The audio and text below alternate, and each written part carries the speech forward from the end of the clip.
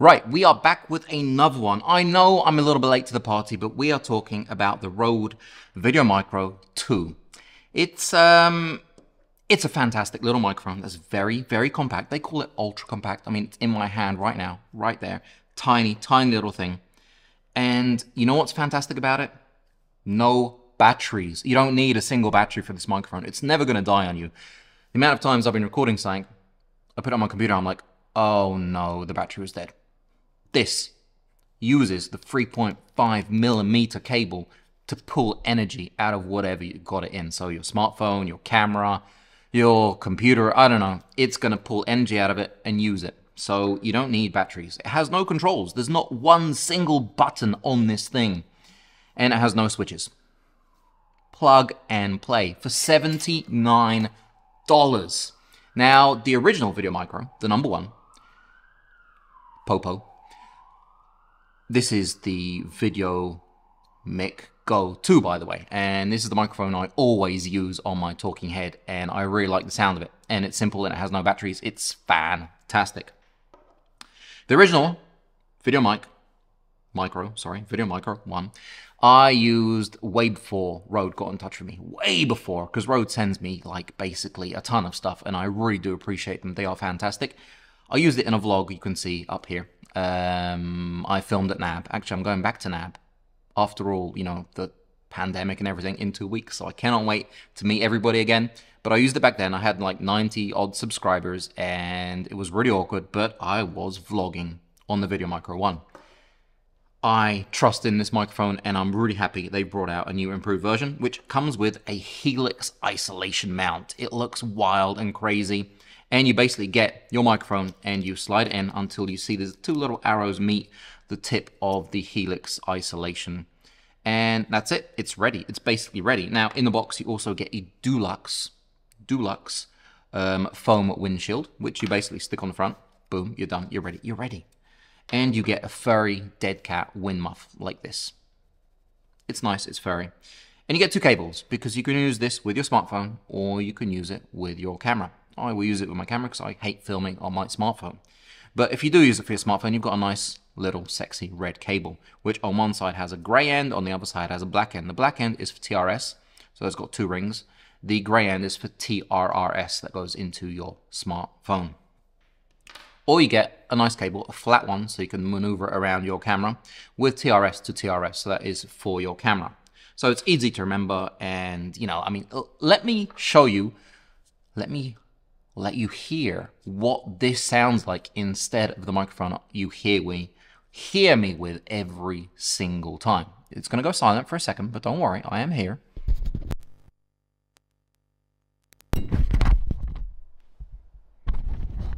Right, right, right. That's it. That is it. The it's it's basically my fingers. It's it's it's it's it's it's there. It's there. And this is what it sounds like with the same settings I have on the Sony a7S III that I use with the video mic Go 2. I have so many microphones, I don't know, but that's the one I use and it's fantastic and I do love the sound of it. So this is what the Video Micro 2 sounds like. And why don't we use it? Instead of talking all this stuff, it's all metal body by the way, and weighs 39 grams, just in case you wanted to know. Let's use it on the camera. So let me walk around the studio so you can hear what it sounds like me vlogging because it is a shotgun microphone. So it's going to reject the sides and the back and it's going to take all the beautiful sound in from the front. And then let's go quickly outside, put on the wind muff and, you know, I hate, I feel so cringy vlogging, but let's go outside and um, I might talk to you for 30 seconds outside just so you can hear what it sounds like. It is windy, so this should do a, you know, a good test out there. Let's do that. Are you guys there? Right, so I'm using the Sony 20mm f1.8 and you are now on my camera. And this is what my studio looks like. This is where I was just talking. Um, this is my Zen room. By the way, my studio has an incredible amount of um, echo. So sorry about that, but this is my Zen room. So like I have like, you know, a sofa here, sofa bed, like some, you know, beanbags and I edit here and this is my studio. So if you come in here with me, this is what my studio likes, likes, looks like.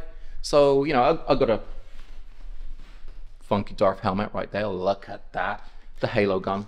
Oh, this is one of my favorite things. This is the National Lampoon's car. That was hard to find. Mogwai. You see Mogwai right there? Hello.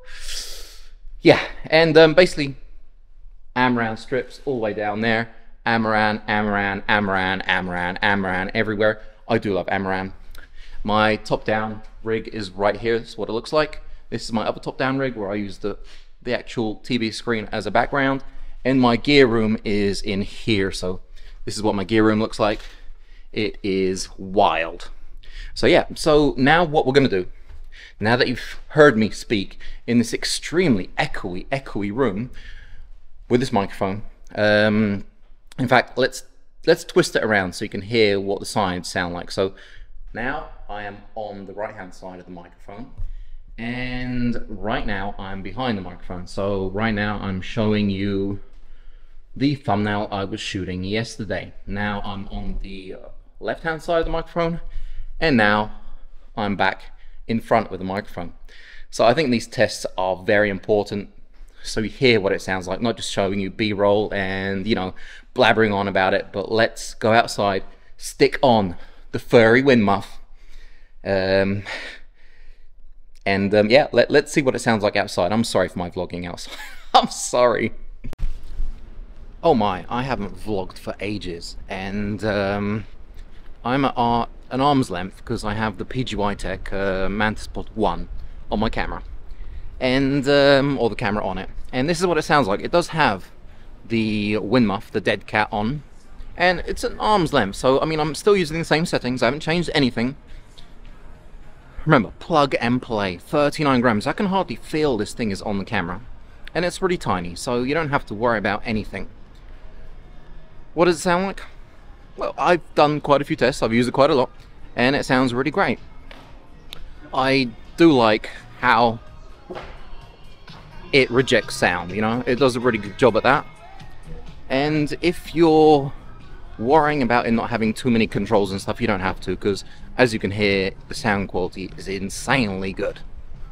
It feels really weird, weird being outside and vlogging, because I've been inside all winter, but I guess I gotta get used to it. I just, um, I feel always cringy when people are looking at me when I'm vlogging. So I have like one eye at the camera, I have one eye looking at everybody else who's looking at me. And um, yeah, so this is a real world test of me all walking around. It's a little bit windy today, so I'm sure the wind muff is helping. And um, oh, this, this this place is beautiful. They've just finished renovating it behind me here. It's um, going to be a children's theater. So check that out right there. Yeah, Poland is up and coming.